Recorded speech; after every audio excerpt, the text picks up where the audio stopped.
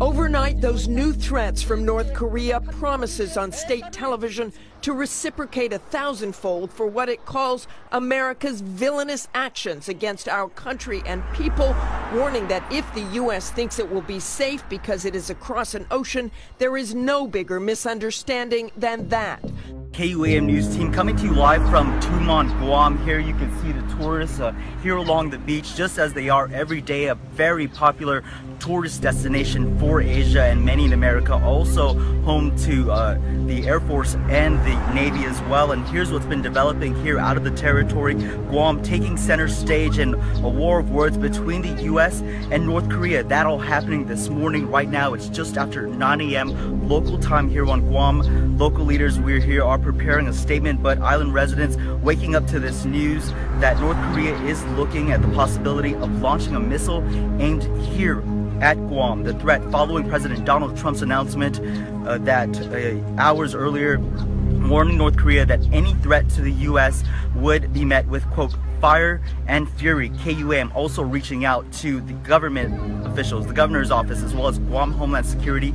We have yet to hear back from them as well as get any response on what preparations may be underway after that threat being uh, made and coming our way this morning. Kick the can down the road for 20 years. There's no place else to kick it. There will be a war with North Korea over their missile program if they continue to try to hit America with an ICBM. He has told me that. I believe him. And if I were China, I would believe him to and do something about it. You can stop North Korea mm-hmm. militarily or diplomatically. I prefer the diplomatic approach, but they will not be allowed to have a miss- missile to hit America with a nuclear weapon on top. And to allow them to do that is really abandoning Homeland Security.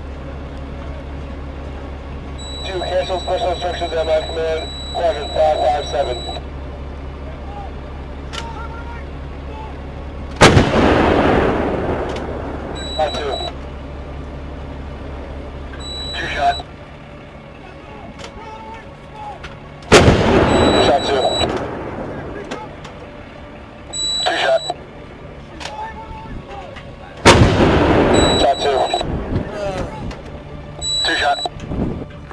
continue SCP les meubles Je le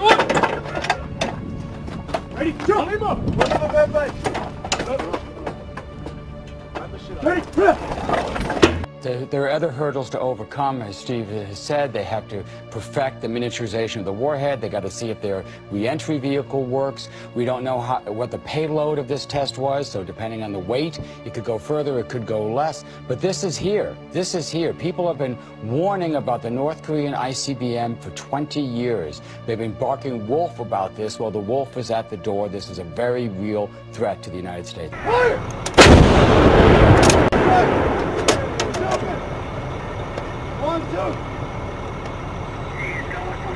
Vice President is in Asia doing the four-stop tour, and he said basically the U.S. is running out of patience. Clearly a message to North Korea.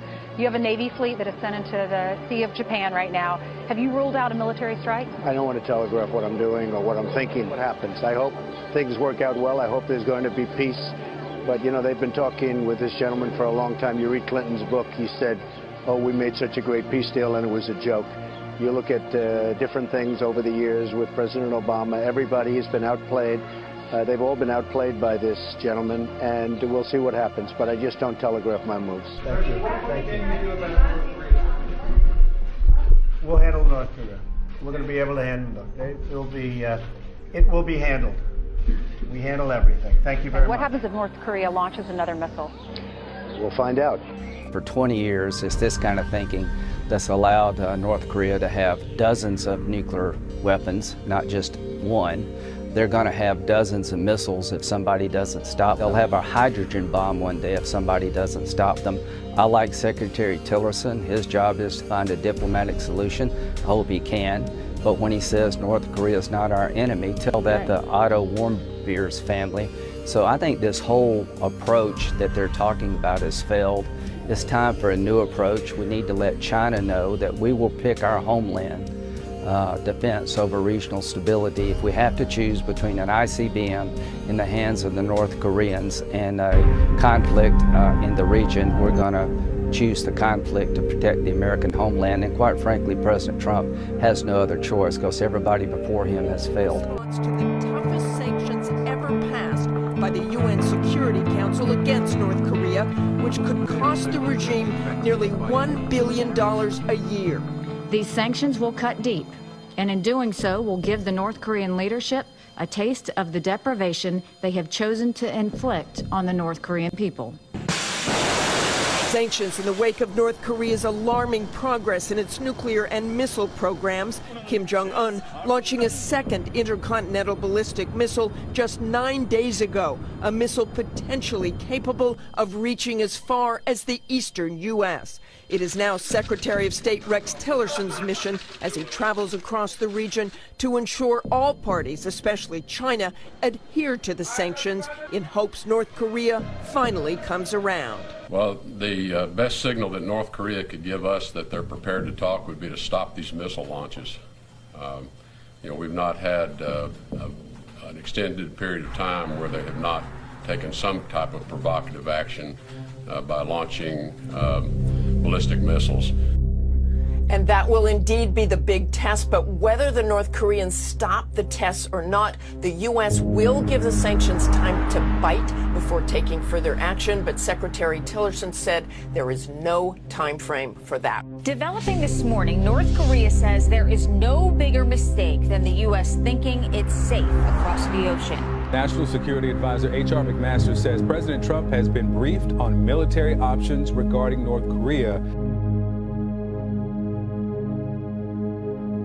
Incredibly strong day for the United States. It's a strong day for the United Nations. It's a strong day for the international community that wanted to send a message to the North Korean regime that we were done. The, the time of talking is over. We made that very clear on Monday, and the time for action has happened, and now it's time for North Korea to decide where they're going to go. Uh, what you saw the Security Council do was a unanimous uh, vote that basically banned coal, lead, lead ore, iron, iron ore, banned seafood, um, stopped all new joint ventures, stopped expansions of joint ventures, had multiple sanctions designations, and we gave them basically a kick in the gut with a billion dollars of sanctions that are going to start, they're going to start to feel right away. It's, it's going to be very strong, and it's time for North Korea to realize we're not playing anymore. North Koreans lining up to watch state-owned TV, threatening the U.S. with a thousands-fold revenge for what they call villainous UN sanctions, warning it's a mistake for Americans to think they're safe. President Trump talking for an hour to his Secretary of State at an Asian summit today, after Rex Tillerson delivered a message to North Korea.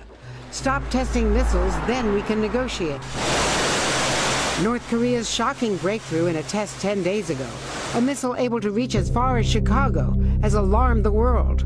That plus what U.S. officials call unusual and unprecedented submarine activity by North Korea, which hopes to develop sea-launched missiles as well, producing a diplomatic win for the White House, while in Washington talk of the potential need to plan for military options. There's nothing like the threat of a ballistic missile landing on your homeland. But you have to look at what North Korea has done. This is a country who has taken all of its revenues and not given it to its people to feed um, where they're starving, but instead has put it towards an irresponsible nuclear program where they're trying to show their muscle. So what we basically did was um, kicked them in the stomach, told them to stop, and said we're not going to put up with it anymore. And the ball is now in North Korea's court. They have a big decision to make. They can either respond by pulling back and saying that they're not going to be a part of this reckless activity anymore.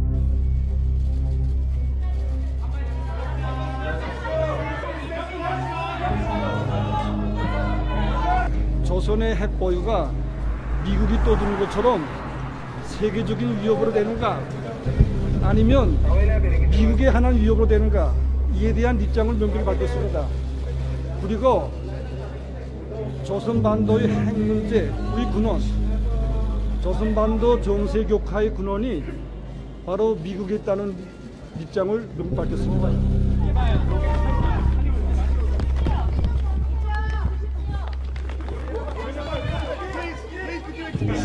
절대로 우리의 핵과 탄도 로켓을 십상타게 올려놓지 않을 것이며 우리가 선택한 핵무력 강화에 대해서 단 한치의 양보도 없다는 것을 천명했습니다. China said that sanctions would put a lid on the uh, nuclear capability of uh, North Korea. uh, China was also confident that North Korea will come to the negotiating table. But you know what? North Korea has just reacted to the sanctions just moments ago for the first time, condemning the move, calling them a violation of sovereignty. It also a promise an action of justice. What action of justice really means, we don't know. We just know it's probably a retaliation now. They're believed to be capable, of course, of hitting the U.S. We don't know if they will do that. As you know, uh, the international community has been trying to get Pyongyang to negotiate, but that has been to no avail. Pyongyang has been resistant. To clarify your thinking, the United States has to take prudent military planning into account.